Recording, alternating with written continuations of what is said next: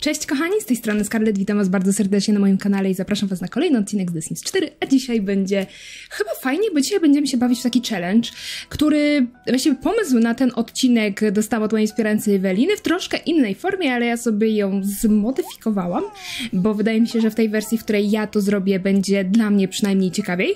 Pozdrawiam oczywiście Ewelinę, w ogóle. Nie wiem czy wiecie, Ewelina to jest taki e, typ wspierającego, który naprawdę bardzo dużo fajnych, ciekawych rzeczy podsyła i gdyby nie ona, to właściwie wyzwania Albioną by nie było, bo ona pierwsza je znalazła i ona pierwsza sobie je rozgrywała i po prostu ja od niej to przejęłam sobie, bo bardzo mi się spodobała jej rozgrywka i cały ten klimat, więc Ewela pozdrawiam Cię bardzo serdecznie i lecimy do odcinka. Wyjaśnię Wam mniej więcej o co chodzi. Wydaje mi się, że Wy będziecie kojarzyć takie rzeczy. Ja w sensie nie nagrywam takich, chcę się do tego przełamać i chcę takie robić częściej, a nie tylko męczyć Was z jakimiś dziwnymi fabułami, gdzie wszyscy są nieszczęśliwi i jest jeden wielki smutek.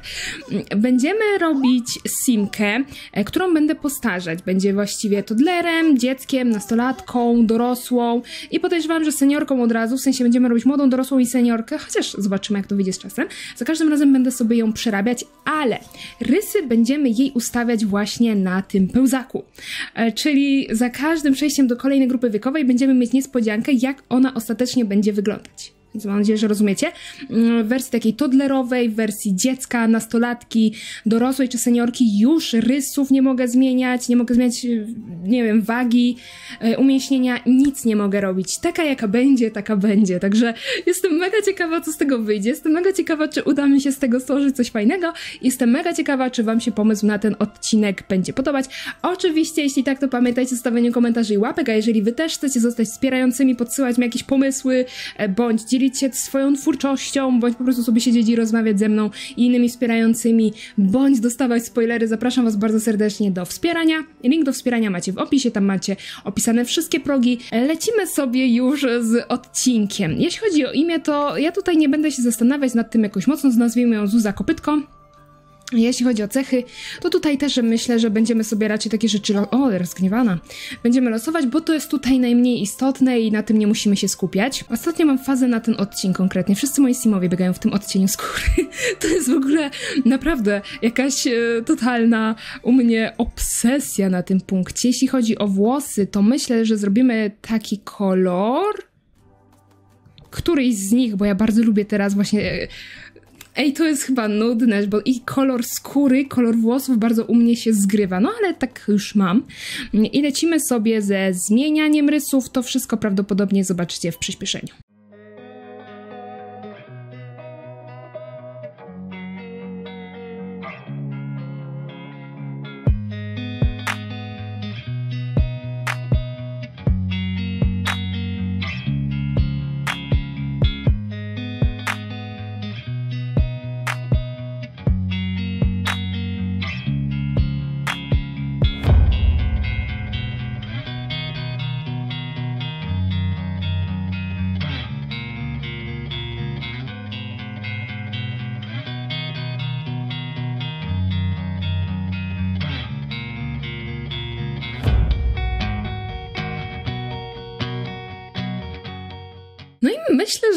Chyba byłoby tyle, że no, że tak to zostawimy. Zostawimy ten odcień włosów i tę skórę, bo to jest mój ostatnio faworyt, naprawdę.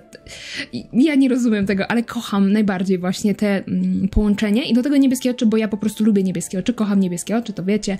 Każdy, kto ogląda mój kanał, to chyba wie, bo właściwie 90% postaci u mnie ma albo niebieskie, albo fioletowe oczy i to jest po prostu moja topka. Mam jakąś słabość do tego, przyznaję w życiu codziennym. Buźka chyba jest, nie wiem, no zobaczymy co z tego wyjdzie, ale e, teraz przejdziemy sobie do ubrania dziecka, w sensie nałożymy na niego mody e, i no i... A potem zobaczymy, co będzie dalej. Jeszcze zrobię przy okazji zdjęcie temu, bo może, nie wiem, jakiegoś shorta sobie albo TikToka z tego zrobię w zależności. Bo nie wiem, czy wiecie, mam też konto na TikToku, które e, raczej rzadko kiedy uzupełniam, ale jest.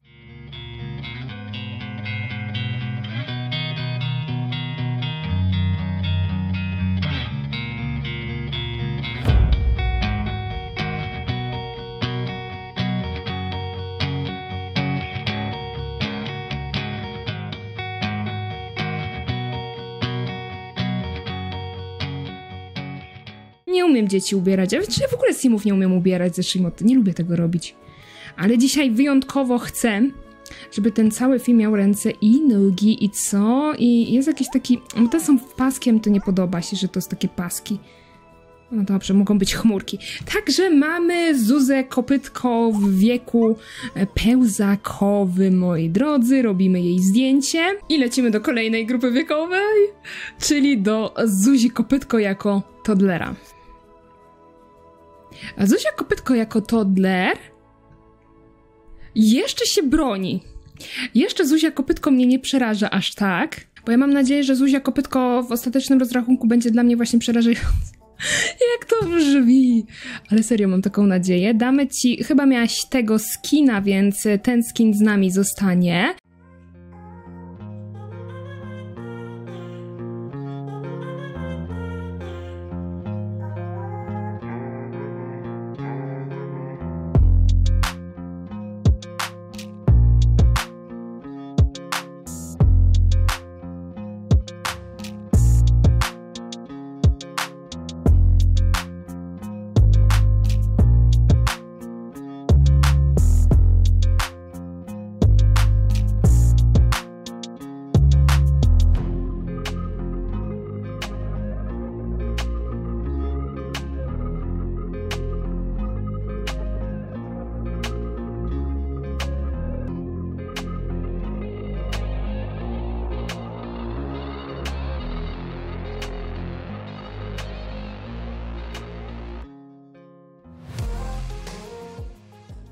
Także Zuzka w wieku toddlerowym, została już e, skończona, uwielbiam to słowo, skończona w kontekście właśnie Simów, no wydaje mi się, że jest okej okay na razie.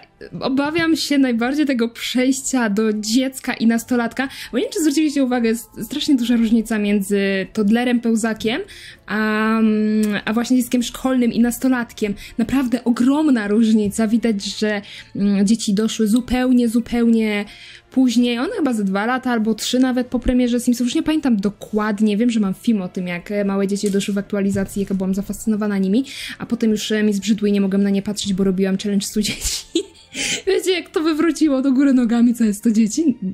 To był po prostu kosmos. Mm, ale mamy Zuzkę i lecimy Zuzka teraz do ciebie jako dziecko. Ej, nie jest źle, Zuzka. Dobra, masz trochę wysoko oczy. Ale Zuzka nie jest źle. Czyżbym była mistrzem i zrobiłabym dobre dziecko w Simsach od pełza... Nigdy nie robiłam pełzaków.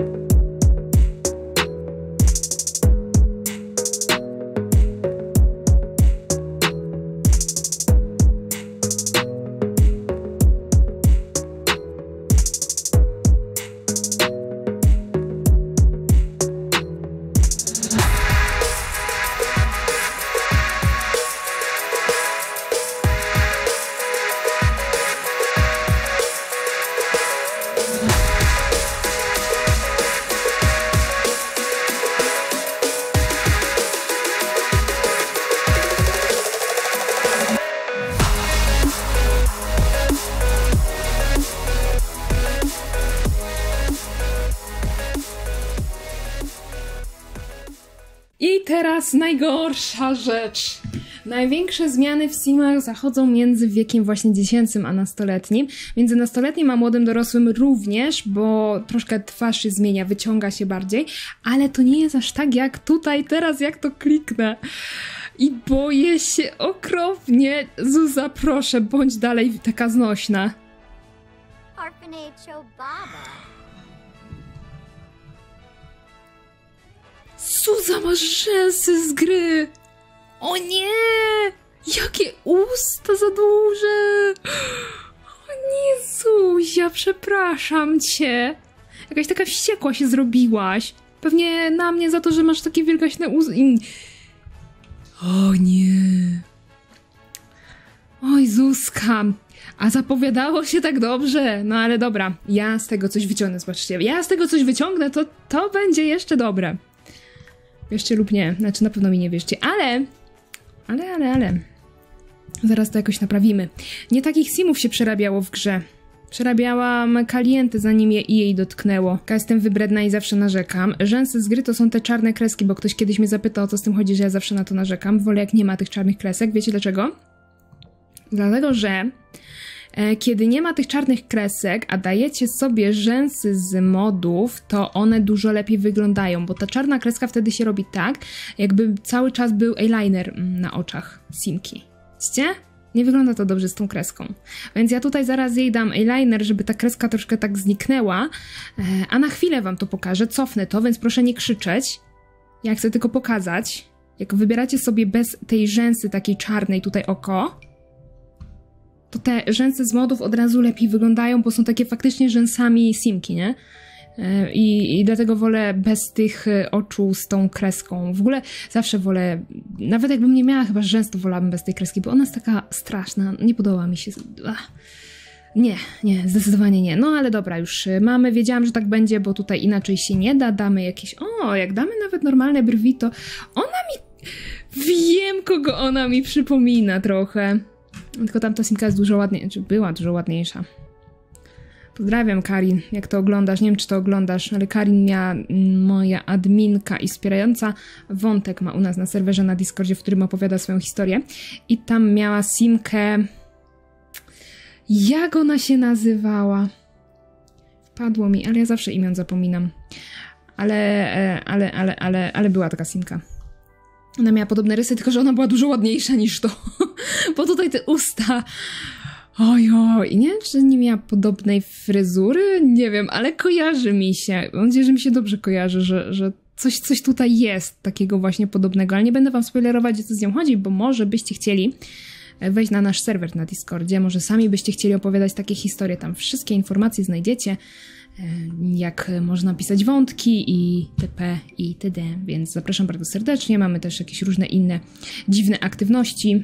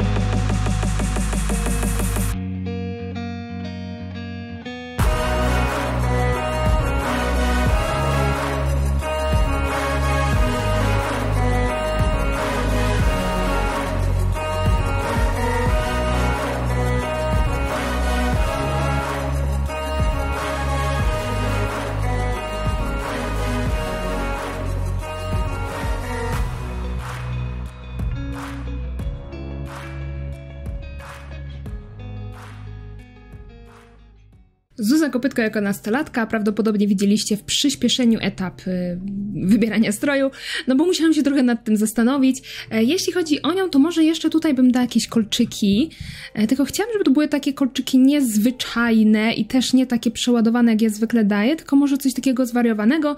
Nie wiem, czy oglądacie właśnie Ivy u mnie na kanale, ale ona ma takie kolczyki w takim stylu, jakieś chmurki, pierdółki, etc., etc. i właśnie coś w tym stylu chciałabym dać, może takie grzybki, mm, coś, coś na pewno niestandardowego. Wisienki też byłyby w sumie spoko, też są takie ładne dosyć. E, ale, ale, o, o, o, o czemu tak sobie przewinęłam? Spokojnie, spokojnie, nie klikać tak jak wariat jakiś, tak, to makaroniki. Kluczki makaroniki byłyby tutaj chyba dobre w odcieniu takim, a może takim. E, tak, żeby było trochę niestandardowo. Ale w sumie nawet mi to burzy wygląd. Myślałam, że będzie pasować, ale jakoś tak mam wrażenie, że te kluczyki burzą cały wygląd. Może nie będę przesadzać, może ją zostawię po prostu tak.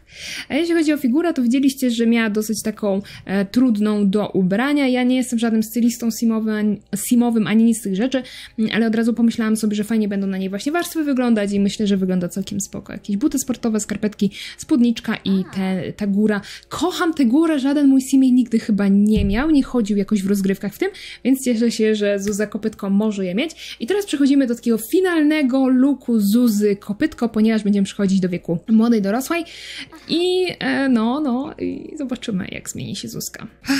O Jezu, aż mam ochotę zamknąć oczy i nie patrzeć na to, Zuzka. Zuzka jako młoda dorosła. Zuzka, ty się nic nie zmieniłaś? Co się twarz, ci się zbagowała? Czy coś ci się zmieniło? O nie, coś się popsuło. Zuzka, really? No, niestety, mm, czasem to mi się zdarza i wydaje mi się, że to jest kwestia właśnie modyfikacji bardziej, jeżeli chodzi o e, kształty ciała i itp. itd., jakieś presety ewentualnie, chociaż ona nie ma żadnych presetów na sobie. No ale dobra, no trudno, no tak wyszło jak wyszło, nie zmienia nam się nic w młodą dorosłą, więc to jest finalny w takim razie e, look Zuzki. Szkoda, że to się tak zbagowało, ale jesteśmy teraz młodą dorosłą, więc chociaż ją przebiorę na taką młodą dorosłą Zuzannę.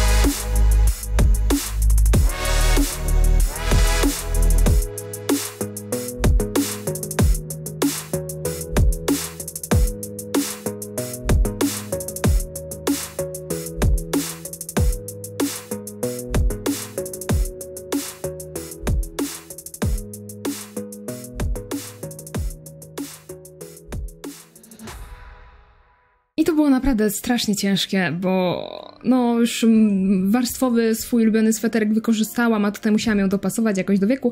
No przełączamy ją teraz na dorosłą, ale niestety niewiele nam się zmieni, bo jest bug. Zmieniła się czy nie? O, nie, trochę się zmieniła. Delikatnie, widzicie to w tym miejscu? Jednak coś się ruszyło, ale z twarzy nic się nie zmieniłaś, nie? Dziwnie, no ale dobra, cycki się zmieniły i trochę tutaj w talii się zmieniłaś. Okej, okay, więc nie jest tak źle, ale między nastolatką a dorosłą nic się nie zmienia. No dobra. No ale dobra, lecimy teraz do, pfu, do dorosłej.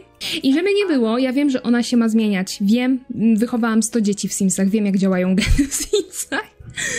Zawsze twarz się zmienia delikatnie, chyba że coś jest właśnie zepsutego w genach, ale to już nie chcę wnikać, jest jak jest. Już mówiłam, będę i tak pewnie jeszcze 50 razy to powtarzać. Natomiast tutaj widzę troszkę nam w biodrach przybyło w tym wieku dorosłej i właśnie teraz ubieramy sobie Simka jako dorosła. Dla mnie w ogóle wiek dorosły w Simsach zaczyna się mniej więcej koło 35 roku życia i by trwał do 45, 50? Tak mniej więcej bym to usytuowała, czyli w sensie młody dorosły od 20 do 35, od 35 do około 45-50 lat bym dała dorosłego, a powyżej 50 mielibyśmy seniora. Tak ja to czytam sobie, ale pamiętajcie, że takie odczytywanie wieku jest bardzo, bardzo, bardzo, bardzo indywidualne. Nastolatek dla mnie to jest właśnie mniej więcej simowy nastolatek, to jest 16... 16-19. A tutaj, jeśli chodzi o dziecko, no to tutaj dziecko bym dała 8, 13. I brakuje mi pośredniej grupy wiekowej między dzieckiem a nastolatkiem w Simsach, ale to wam już mówiłam, że bardzo mi takiego wczesnego nastolatka brakuje. No ale jest jak jest. E, I lecimy sobie, bo te nastolatki w Simsach mi się po prostu kojarzą z tymi już 16-17 latkami takimi. E, lecimy sobie teraz do dorosłego.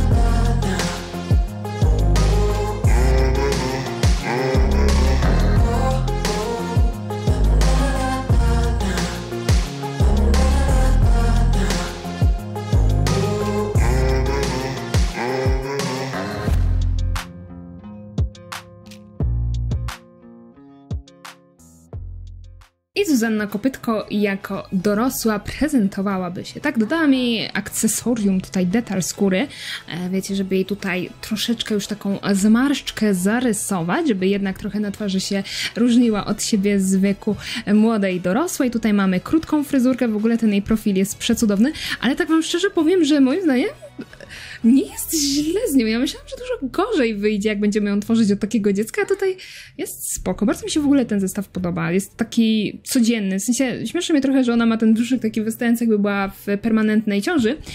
No, ale okej. Okay. Czasami tak jest w Simsach, że tak właśnie się to składa, ale jak tak patrzymy prosto, to wydaje mi się, że całkiem spoko taki strój codzienny, gdzieś, nie wiem, na miasto taki zwykły, normalny. Dałam jej też obcasy tutaj, tak żeby miała na takim małym e, obcasie po to, żeby się wygodnie w tym chodziło, no bo wiadomo, że jak jest poniżej piątki, to się właściwie chodzi jak na płaskim. W sensie ja tak uważam, ale z drugiej strony ja dużo na obcasach chodziłam. Wiem, że nie wygląda może, ale kiedyś non-stop chodziłam i tylko i wyłącznie. Mm, no i, i, tak jakoś tak pamiętam, że na piątce, to, czy takiej piątce do piątki to się totalnie chodziło mi jak na płaskich, a, a powyżej piątki no to wiadomo jak na obcasach, ale wciąż wygodnie. E, natomiast no myślę, że jest całkiem spoko. Zuzanna Kopytko w wieku seniorki. No i tutaj widzę też się zmieniła całkowicie nasza postura i zrobimy jeszcze pewną rzecz, mianowicie troszkę bardziej jej wydobędziemy tę zmarszczkę, którą ma tutaj. Czekajcie, to nie jest nawet ta, ale może być i tutaj to ogarnięte, to mniej więcej tak. I wydaje mi się, że jeszcze coś miałam z tego żeby tutaj dodać jeszcze jakąś zmarszczkę w tych detalach, że jeszcze coś było.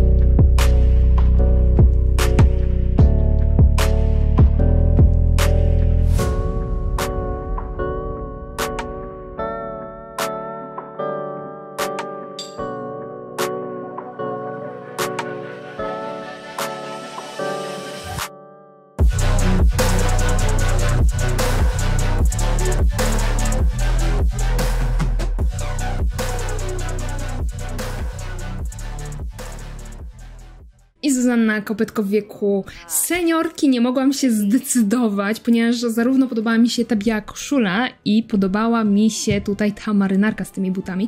Nie mogłam się zdecydować na wersję, więc stwierdziłam, że Zuzanna Kopytko akurat w wersji seniorskiej będzie miała te dwie stylizacje, wysokie spodnie, e, w sensie spodnie z wysokim stanem, e, zawijane tutaj na nogawkach. No myślę, że wygląda bardzo fajnie. Zaczesamy jej też włosy do góry, bo jakoś tak wydaje mi się, że przez cały czas miała zasłoniętą tę buźkę to teraz właśnie w wieku takim seniorskim odkryjemy całą tę twarz. Makijażu za mocno nie zmieniałam, dodałam te kreski, w sensie zostawiałam te kreski, które miałam chyba jako dorosła. W każdym razie mam nadzieję, że odcinek Wam się podobał. Jeżeli chcecie więcej takich, pamiętajcie o zostawianiu komentarzy i łapek. Wtedy będę wiedzieć, że Wam się podoba. Dajcie znać, jeżeli chcielibyście następny, to czy robimy faceta z modami, czy może robimy znowu simkę, tylko bez modów i zobaczymy, co z tego wyjdzie. A ja już się z Wami żegnam. Zapraszam Was oczywiście na inne moje serie, szczególnie te fabularne, jak Albion i Ivy, co tam się odwala. W ogóle jak Kurczę, jeżeli jest, myślicie, że rozgrywka w Simsach jest nudna, to gwarantuję wam, że jak włączycie Ivy i Albion, pomyślicie coś zupełnie innego, ponieważ tam jest fabuła, są parcele, wszystko jest dopieszczone i w ogóle tak będę się chwalić. bo będę was siłą przekonywać do tego, żebyście dali szansę tym seriom, bo są, wydaje mi się, inne niż normalnie są, były nagrywane na Simstubie. No, tak mi się wydaje, że jednak są trochę inne. Trzymajcie się cieplutko i cześć.